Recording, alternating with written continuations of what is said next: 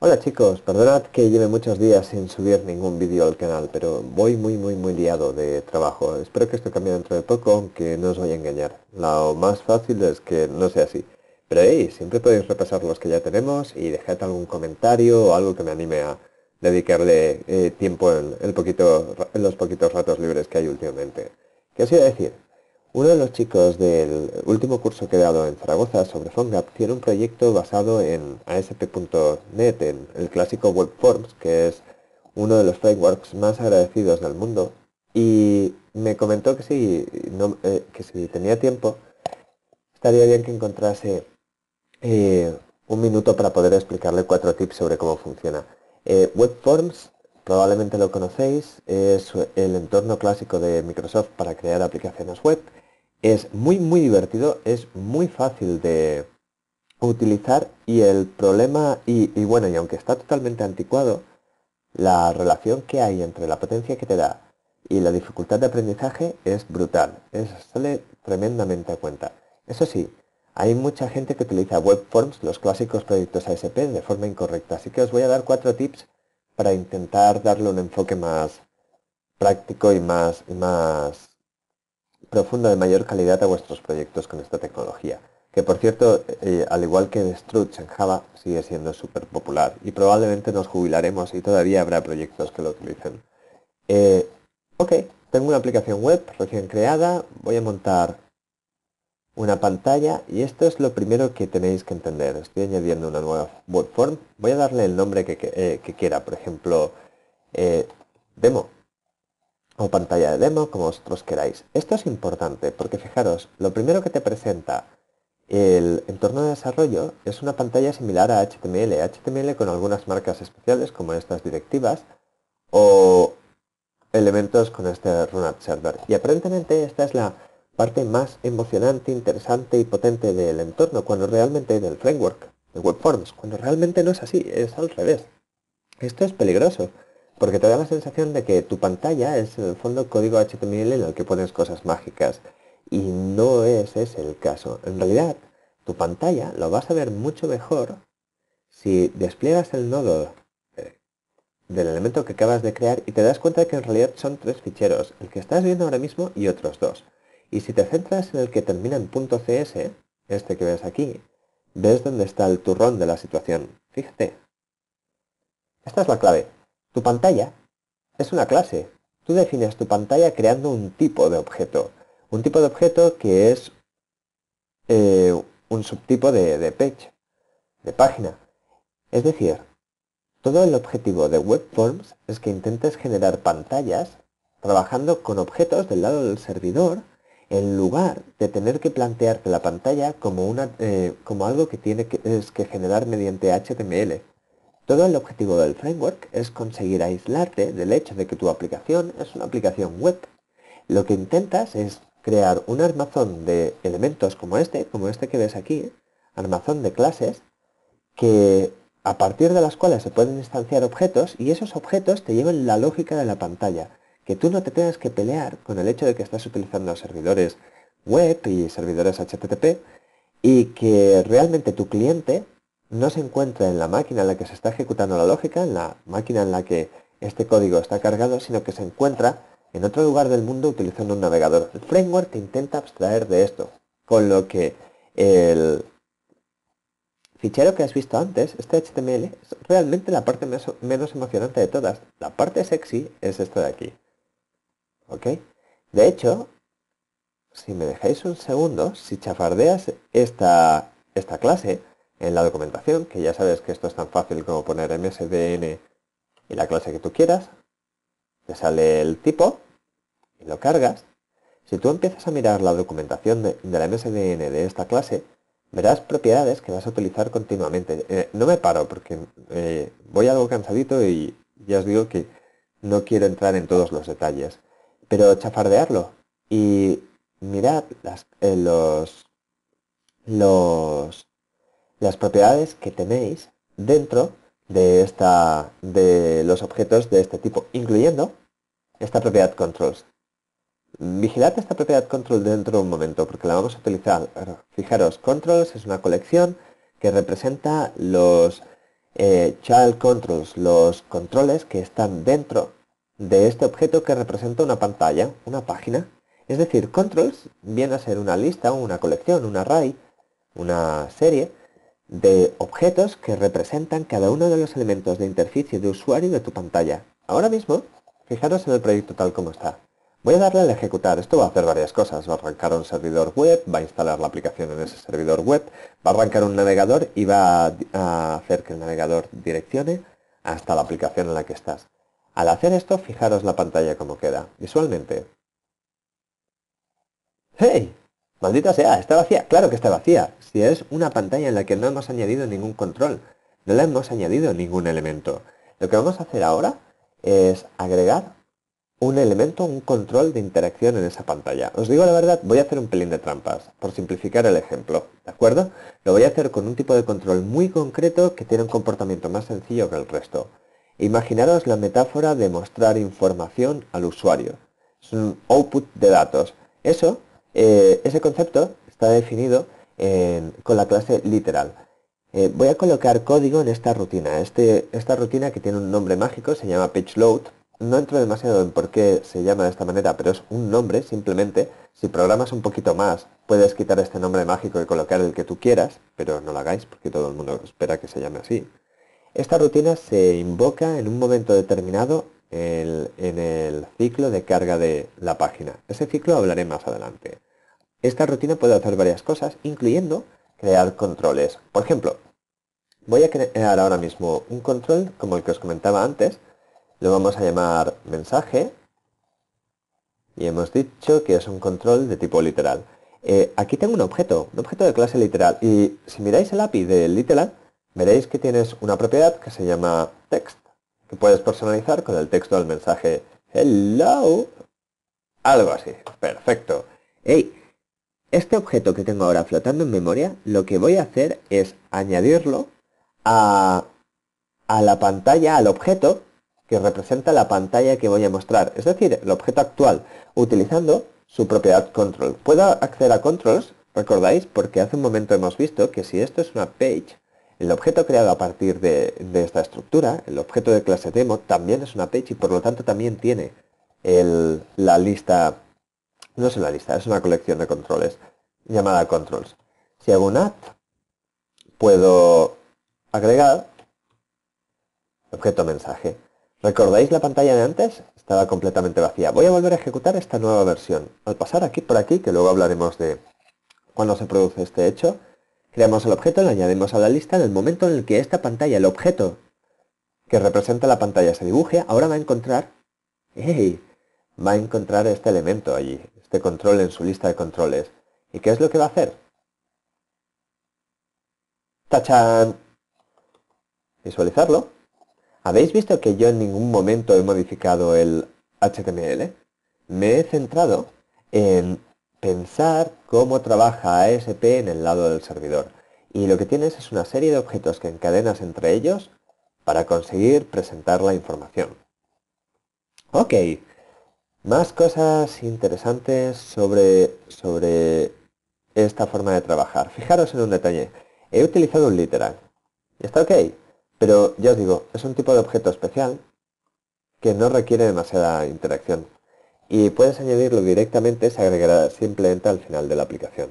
Si quiero usar objetos más complejos, no es esta la manera de trabajar. Si quiero usar objetos más complejos, lo que tengo que hacer es declararlos como propiedades. Por ejemplo, ojo, voy a borrar esto en un momento. Podría declarar algo de este estilo. Eh, eh, protected eh, digamos que vamos a usar una textbox. Textbox txt demo. Ah, me temo que no soy capaz de quitarme la manía de meter prefijos cuando estoy desarrollando eh, webforms. Es algo que ya parece que esté grabado en la genética. Con la rabia que me dan los prefijos a estas alturas del año. al menos pondré la T mayúscula. Ok. Fijaros lo que habéis hecho aquí. Hemos añadido una referencia y en un momento determinado una referencia a un objeto de tipo textbox. Si miráis la documentación de textbox, que la tengo por aquí cargada en algún lugar, eh, no, aquí. Si miráis la documentación veréis que textbox es el objeto que modeliza la capacidad de un objeto, perdonad, el objeto que modeliza la metáfora de usuario para que el usuario pueda introducir textos. Maldita sea, sí, es una caja de texto. Ese objeto modeliza el hecho de un elemento en el que el usuario puede agregar información mediante el teclado. Si miráis su API, encontraréis en algún punto que tiene la propiedad text, que precisamente es el texto que el usuario ha introducido o que la caja de texto está visualizando. Aquí lo tenéis. ¿De acuerdo? Esta propiedad text la puedes modificar eh, de la misma manera que antes. Es decir, tú puedes hacer algo del estilo eh, txt demo text es igual a hola. Y lo que estás cambiando es la propiedad txt la propiedad txt text del objeto apuntado por txtdemo. Y estaréis diciendo, maldita sea, ¿y ese objeto dónde demonios está creado? Y aquí está el truco. El framework te crea automáticamente ese objeto en una fase concreta. Pero para que esto suceda, este textbox txtdemo que tienes aquí, no lo colocas en este fichero, sino que lo colocas en este otro que veis aquí, el designer.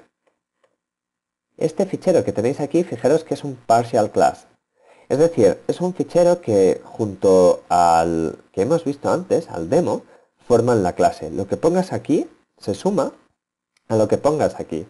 De manera que si tú declaras la clase aquí, perdona, si declaras la variable aquí, perdonad, que habrá que añadir el namespace correspondiente. Si tú declaras aquí la variable, fijaros que la puedes utilizar también desde la otra operación porque la clase se define en la suma de las de las de los dos ficheros. Va bien. Si colocásemos si colocamos aquí esta propiedad hey, automáticamente el framework me creará el objeto cuando sea necesario. Más sobre esto más adelante. Eh, ¿Qué es lo que tenemos por aquí entonces? Tenemos un objeto de tipo eh, textbox que le hemos añadido en un momento determinado que hablaremos después la propiedad text para que muestre esto y se ha agregado automáticamente a la lista de controles. Esto también te lo hace. El problema es que no hemos indicado en ningún momento dónde ese objeto debe aparecer. Y aquí está la parte interesante de cómo podemos hacer esto. Lo normal sería que tú te colocases aquí, por ejemplo, y determinases en qué parte de tu pantalla, realmente en qué parte de qué pequeño trozo de tu pantalla debe aparecer este objeto renderizado, como una caja de texto HTML, en este caso un input type text. Pero claro, hacer esto programáticamente, hacerlo con la sintaxis de C Sharp o Visual Basic o lo que os apetezca, es terriblemente engorroso. Así que lo que hicieron la gente de ASP.NET es montarte un mecanismo más sencillo de forma que tú puedas armar la parte eh, principal de la pantalla de una forma declarativa y simplemente dejes marcado dónde deben insertarse los objetos que se crean. Y esto lo han hecho en el demo SPX que tenías antes, porque si te paras a leer la cabecera en la que hay, esto es código que no se llega a ejecutar directamente, sino que lo que le estás diciendo es, básicamente, oye, genérame una clase de tipo page a partir de este, del texto que yo te coloque aquí. Hazlo en C Sharp. Haz que se usen nombres mágicos como el page load que habéis visto antes.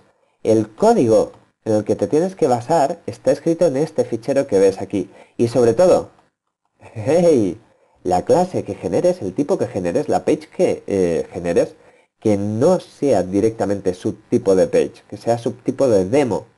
Y esta es la clave. Si es subtipo de demo, maldita sea, tiene todo lo que tenga demo, incluyendo esta operación, incluyendo, ah, perdonad el cambio que ha habido aquí. Esto os, explico después por qué ha pasado. Incluyendo esto que estáis viendo aquí. ¿Vale? Incluyendo el txt demo que hay aquí. Y tú puedes venir aquí donde tú consideres, aunque tiene que ser dentro del form, y decirle que quieres colocar aquí el textbox cuyo ID se llama, habíamos dicho, txt demo, si no recuerdo mal, con la marquita súper pesada de que este trozo eh, debe estar procesado eh, a la hora de generarse, que esto tiene que estar procesado por el subsistema de ASP. Este runat acabaréis tan hartos de él, ni os lo imagináis. ¿Cuál es la gracia de esto? Que ahora el sistema del framework sabe dónde debe dibujar el objeto que has creado, eh, que has definido, perdona, en el designer. Y sí, sí, sí, lo has adivinado. Normalmente el workflow es al revés. Normalmente lo que haces es añadir aquí el, placeholder, el lugar en el que lo colocas, por ejemplo, ASP2.label con un ID que sea lb demo, runat server, for, eh, perdona, eh, ah, qué frío estoy. Eh, la propiedad para indicar cuál es el campo asociado a Associate Control ID, eh, txt demo, y el label que queremos poner debe poner algo, introduce un texto, algo de este estilo.